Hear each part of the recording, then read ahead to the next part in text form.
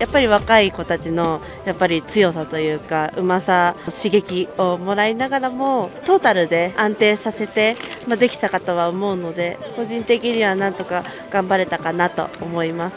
あのさらにスキーが好きになる本当いいあのきっかけの大会になったかなと思います。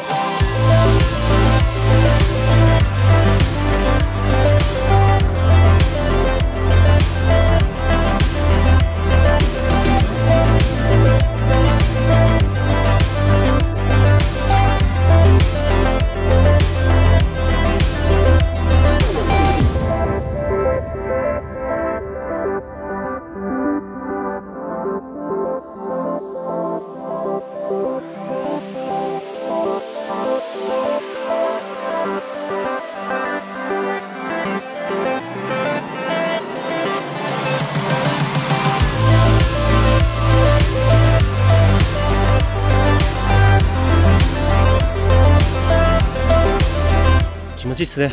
3回連続で勝てるって、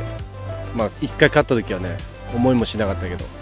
まあ、2回、3回と、できて、やっとなんかこう、一つ、うんまあ、自分の